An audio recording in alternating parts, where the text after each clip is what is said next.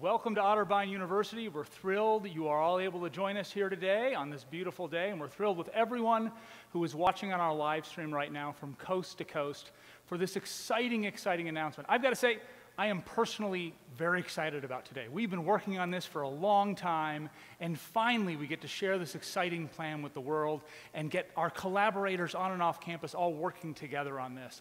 And so it's exciting, I know, for Otterbein. I know it's exciting for Antioch University. I, they might not you know it yet, but our future students will be excited about what we're going to be working on together. Our, our partners that are the employers that will work with our students, all the folks that connect with our universities and connect with higher education will be excited about what we're putting together and starting and launching today. This is really about collaboration. We're going to use that word over and over and over again. Too often, higher education is about competition. It's sort of a zero sum game and who can capture as many students or whatever. The reality is we need to work better together, and we're setting up a model to do just that. But first, before we get into all that, I want to introduce our collaborator in chief, Bill Groves, the Chancellor of Antioch University. Welcome, Bill. Great. Thank you, John. And I just wanted to say thank you to the Otterbein community for hosting this today. Um, and uh, it's the first time meeting you by this kind of live stream, so I appreciate that opportunity. Uh, we will be sharing some news with you soon um, but I wanted to give you a couple numbers first, and those numbers are 71 and 0. Now, Antioch has never been known for sports. It, but at one time in its history, 1914, it did field a football team. And there were at least three colleges that they met that season, one of them being Otterbein. The score was 71 to 0 we took a thrashing. so I thought you should know that part of history, that they, we have met before on the, on the field. Uh, we have been waiting for a grudge match for 118 years. I don't think it's going to happen. And so we've decided if we can't beat them, join them. And that's what we're here about today. Well, we've got to add football to a list of things to work on together. This is great. Well, we are thrilled to be announcing today something that we think is new and innovative in American higher education right when we need it. As I said before, too often higher education is competitive. It's a zero sum game, and we're fighting especially over the 18 to 22 year olds, and there's just not enough to go around, and we're all spending our financial aid on merit aid, going to high test scores and high GPAs, and just sort of fighting over this student population. And places like Otterbein have always done more to reach out with need based aid to underserved populations and live out our mission. But still, if you think about who's going underserved in our higher education system, it's so much more than 18 to 22 year olds. There are lots of people in our communities that can be served by what we do, but often don't know that our institutions are for them too. And there's an embarrassment of riches of the number of students out there that deserve to be served if we can just stop thinking competitively and start thinking collaboratively. And it's never mattered more than now. A college degree or post secondary education has never mattered more than it matters now. All the new jobs require post secondary education. This is where the opportunity will lie in the future. And gone are the days where you can end school at 22 and say, well, that was fun. Don't have to go to school anymore. I can't imagine a career that's not going to be vastly different in 10 years, much less the 40 year career arc that most people have. Students are going to be coming back as adult learners. And so, what we're announcing today with Antioch University is the formation of an independent university system that we are the co founders of, but we fully expect will expand with additional partners as we go. The fundamental idea is this each institution gets to play to its strengths.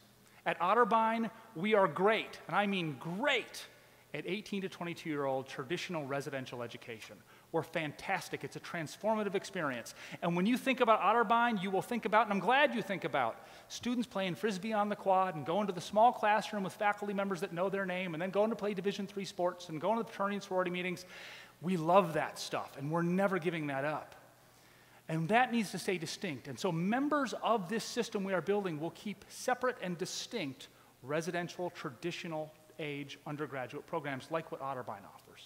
But that opportunity I was talking about before is the opportunity of the future in higher education, the, the, where the need exists, and that is in adult learners. And so graduate programs, adult degree completion programs, professional certificate programs are the opportunity area for collaboration where we can leverage the resources of multiple institutions to better serve that population for all of our good. I'm going to let Bill tell you how it's going to work. Thanks, John. So I, I think that we should all keep in mind that, again, this is about collaboration. It's also about building on our strengths. Uh, while we are announcing today a collaboration and affiliation between two institutions, Otterbein University and Antioch University, our vision is much larger. Our vision is that this will be a national system of schools who will all bring to the table their own strengths and their own opportunities to leverage those strengths for the benefit of the system.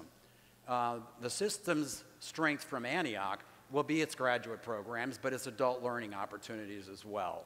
Um, we have already spent several months talking about that.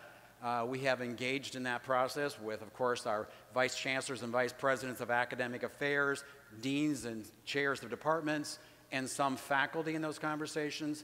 And we know that we can identify numerous ways to leverage the strengths that both parties have to bring benefit to our students, to the students that we would like to attract to the system on a national scale. We have campuses from coast to coast. Otterbein has a huge, beautiful campus here in Ohio and an opportunity to expand beyond Ohio. Um, so, what are those opportunities? Taking some of your graduate programs, integrating them with some of our thoughts, and, and uh, building on those programs, taking them to some of our locations, uh, building new modalities for those programs. We have a strength in online, but we have also a strength in what I'll call hybrid learning, which is low residency learning and hybrid learning. So uh, building on those modalities, building on our geography, taking your programs, adding to them concentrations that we have skill sets in, building new programs, and most importantly, I think, uh, is the opportunities to, attach, to attract learners to our system who are not really uh, served today. And that's through workforce training, workplace educational programs. That's something that Antioch has begun to do over the years, um, and we want to expand on that opportunity. Bringing education to the student. And I'm going to let John talk a little bit more about that. I think that uh, I'll come back to it in a few minutes. But, John? Thank you. So, there's a couple of common threads. To be a part of a system, you have to have a line in a few areas. We want to make sure we talk about those because we do imagine this expanding to other institutions as well. One thing that will bind us together is a focus on workforce development. That students come to our institutions with goals and dreams in mind. And it's important we be accessible and affordable to help those students get where they want to go. The other thing that higher education has not always been great at is connecting those employers to our student programs. We have sometimes in our histories put on a great academic program and crossed our fingers and really hoped it's what employers want, but we never really asked. And you're actually, right now, we're coming to you live from the point at Otterbein University which is our answer for that, which is the employers that lease space in this building work hand in hand with our students and our faculty so that we are bridging that gap between the workforce developer, that's higher education, and the employers that will someday employ those graduates. It's happening here every day, but it is limited to our campus. That is something that we need to solve for the entire higher educational system. And so, as we think about the powerful ways we can be working together, we can think about opportunities for traditional undergraduates at a place like Otterbein to be leveraging the resources of a larger university system, which will have more corporate connections, which will have more internship sites and job placement opportunities, more study abroad opportunities than one school could ever provide. There's also going to be great opportunities for traditional undergraduates to enter accelerated degree programs. So you can be admitted to Otterbein and Antioch simultaneously into a five year program that gets you both a bachelor's from Otterbein and a master's from Antioch in certain fields. And what a powerful difference that will make, shortening time to degrees, getting folks into the workforce faster, and saving them tuition dollars as they go. It's also the case that we'll be advancing in adult degree completion. Ohio is not unique. There are lots of places in the country, including where we are right now, where there are more people with some college and no degree than there are folks with a bachelor's degree or higher. And so, if we can tie in and help those people finish the degrees they started, they'll be more prepared for the workforce they need. And when we talk about, especially in Central Ohio, what are we going to do with all the workforce that needs to come here to feed Intel and all the other needs around here? Maybe they're already here. Maybe they're already here in underserved populations that we just need to tap into and do a better job of serving.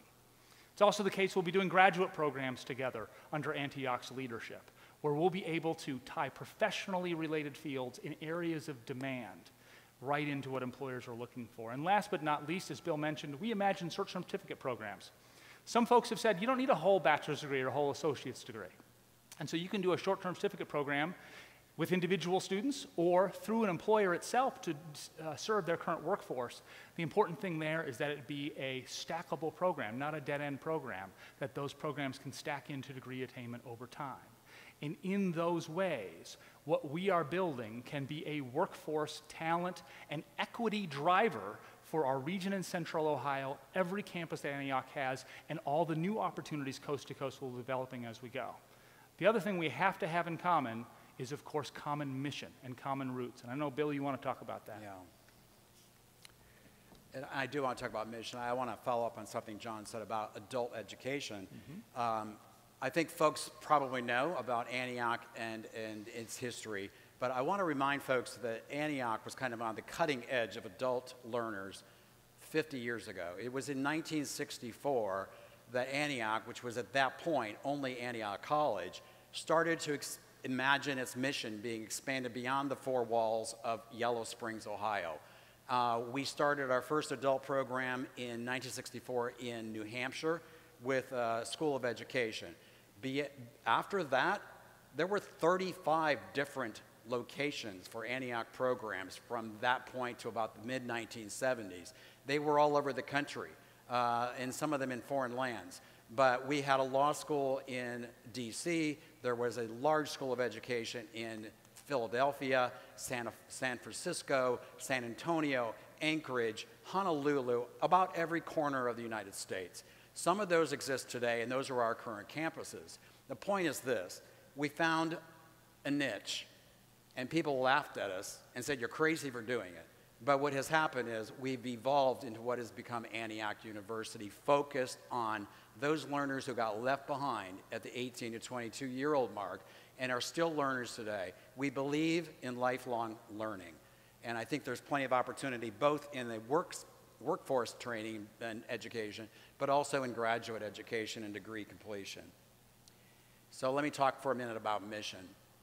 I said, and John has said, that this is about building a collaboration, a new model of higher education that brings that kind of collaborative energy and not competitive energy. It's more than that. And I think that uh, uh, John spoke about the fact that there is a inflection point here in higher education, uh, a real sense that there needs to be consolidation within the higher education, higher education market. There's also an inflection point in this nation. And I don't think anyone can be watching the January 6th Commission hearings and not realize that we are at a very big point in our history of reevaluating what it means to be a democracy. This has been a focus of both institutions, certainly uh, social justice, democracy, and working for the public good is a responsibility of higher education and we intend to address the issues of democracy and social justice as part of this system. It is a mission driven system, and we expect that the other partners who may join us in this affiliation and in this system to all be part of that need that the country needs uh, to recommit ourselves as, the, as democracies, colleges, and universities. So I will remark that both Horace Mann, who was the pres first president of Antioch University and the founder of public education in America, understood how critical education was to democracy. It was also something that was well understood by William Griffith, the first president of Otterbein University.